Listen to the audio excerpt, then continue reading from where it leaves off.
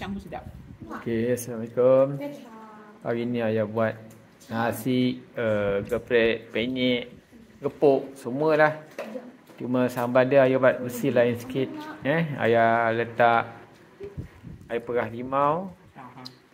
Ayah letak uh, apa sos tiram.